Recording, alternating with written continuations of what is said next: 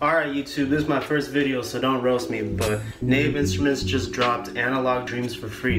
Thank you, coronavirus. So, I just downloaded that shit, and I came up with a little melody real quick, you know, nothing crazy. Um, but I'm about to get into it right now, so come with me into the studio. So I've been playing around with it for a minute, but I came up with this melody.